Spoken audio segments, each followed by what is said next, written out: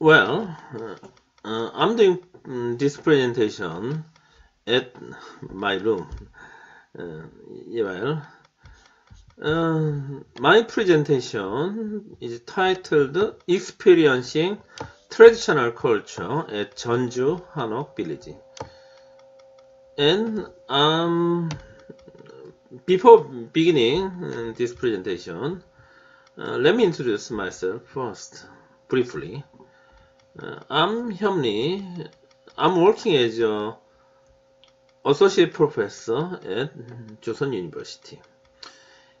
As this title shows, my presentation deals with various aspects of traditional culture at Jeonju Village. Uh, let's move to the next slide. Well, as you see, um, my research mainly deals with the various programs of traditional culture. The programs can be divided into uh, six categories. Well, these are chosen for their main activities, main, main programs. Actually, this study was conducted to find ways to sustain the prosperous tourism of Jeonju Hanok Village in Korea. Jeonju Hanok Village is the most successful model of cultural heritage that significantly contributes to the rehabilitation of old urban areas. Well, Old urban areas have serious problems nowadays, and Jeonju Hanok Village can suggest a way that can solve such serious problems. Uh, this study analyzed how visitors enjoy the cultural tradition through a variety of programs, and programs are these. So actually, my presentation uh, will deal with uh, these one by one. The first one is wearing hanbok. Actually, wearing hanbok is uh, the most popular and easily accessible accessible activities Uh, well, once uh, hanbok was considered to be outdated weather, but nowadays hanbok has come back into fashion recently. Hanbok can be considered the quintessential cultural heritage of Koreans. Yes, and it's very uh, conspicuous at such 그 한옥 villages like 전주 한옥 village, 북촌 한옥 village and that kind of places. Actually, yeah, well, Koreans wear usually wear hanbok on special traditional days, but they can wear it elsewhere. But however, Wearing hanbok in Han Hanok village offers an experience of authentic culture. As you see, these visitors wearing hanbok uh, can be immersed in such a more authentic atmosphere. Okay. These photos were taken since the corona disease occurred. So it's, very recent uh, as appearance. Okay. And also there are many rental shops. Actually, the number of hanbok rental shops has increased. So now there are more than 20 rental shops around Hanok village. Uh, visitors usually take a walk around the village wearing hanbok. And uh, it's also notable that young generations also enjoy wearing hanbok. Okay. Okay, so these are um, the most important activities. Then let's move to the second. Next. Yeah, well, the next is uh, Hanji centers. Okay. These are photos taken at Hanji centers. There are some Hanji centers around, uh, also inside uh, the Hanok village. Hanji is uh, less known than Hanbok. However, Hanji has great potential for tourism purposes. It recently began to draw attention from foreigners. A Hanji festival was held in Turkey some years ago, and the responses were very good. The Turkish people liked it very much. Uh, Hanji is now expanding its market to global customers. Okay. So uh, there are several cultural centers that offer experiences of Hanji production and Hanji craft. So the visitors can experience uh, Hanji making pro process and uh, and this is craft. So so so it's making fan used in summer when um, it's very hot. So it's, um, th there are various aspects of Hanji production. Actually, there is a folding fan museum. Yes, you you see, folding fan museum in the village. Uh, okay, the visitors can see the a variety of folding fans, and they also can paint pictures, as you see. Okay, uh, these are also very interesting. I think it's also quite educational. It's good for educational purpose. Then move to the third one.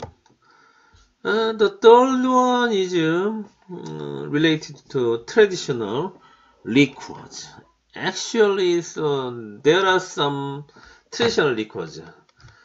Well, recently makgeolli is um, considerably well known, but there are also other traditional liquids, especially in Jeonju. There is moju.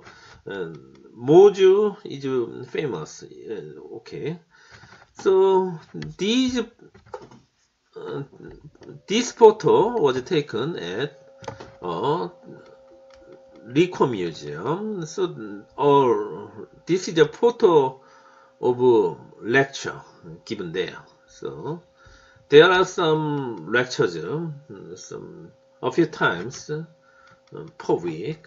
So, the visitors can experience uh, 그 brewing process, of traditional liquors. The visitors participate in the brewing, in the making process. Then, actually, they can bring it back to their home. And the liquor is fermented um, in some weeks. Then they can drink it. So, uh, actually, they not only participate but also buy uh, the liquor. And this photo was taken at the museum. And these are tools used for um, brewing liquor. And so, I mean, these are very traditional uh, tools. So, okay.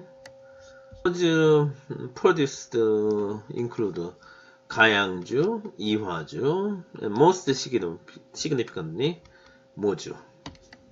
The next uh, one is uh, the launching at Hanok. Well, here you can see uh, two photos. The left uh, one is of 승강제, 승광제. 대한왕실 is written beside the name of the house. And the right one is the picture of inside 동락원. 동락원 is another famous lodging house. There are some lodging houses, and these are very good experiences lodging at Hanok. There are many lodging houses in the form of Hanok. Lodging at Hanok is a great experience. Eating And sleeping at the traditional house is a way of holistically experiencing traditional life.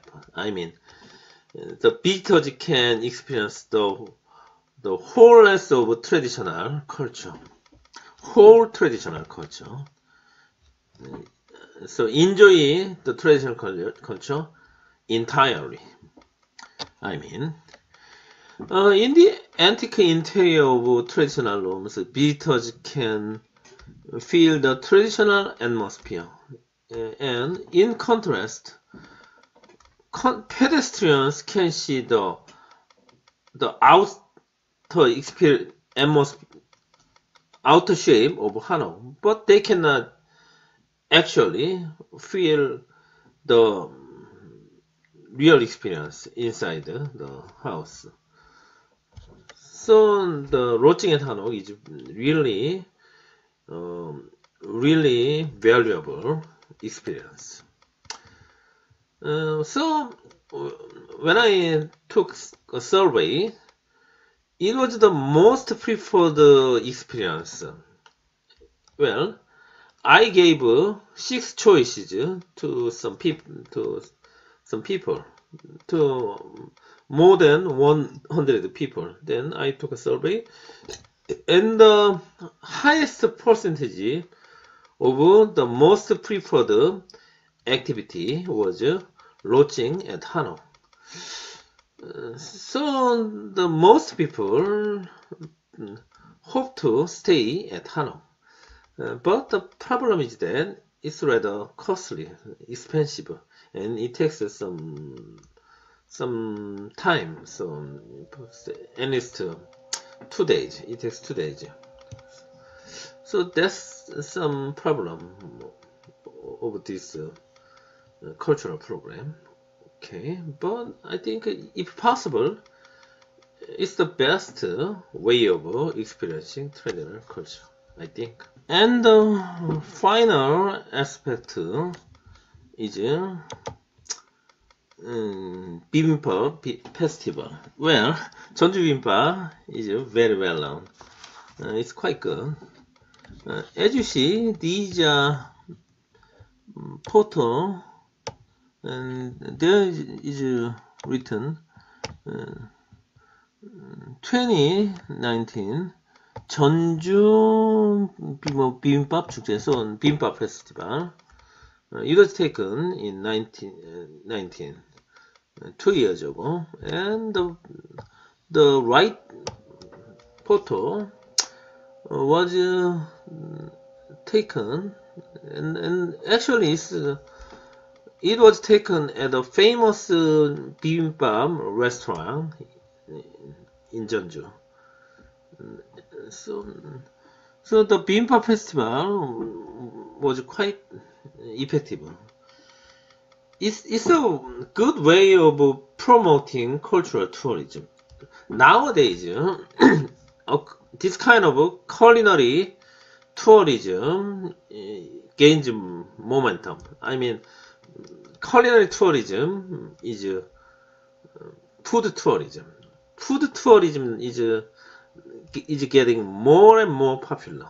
So this is quite effective way of 어, 그 promoting uh, tourism.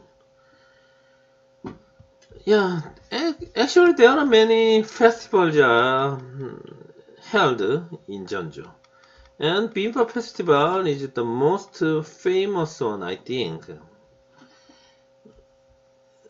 Well, the Bibimbap Festival is quite successful.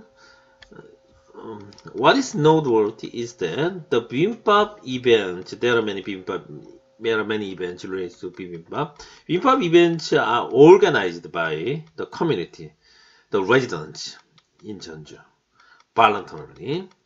Jeonju citizens formed the bibimbap community on 31st January uh, 2019. Uh, so there was a total of 18 board members. The board members comprised residents and merchants of the area.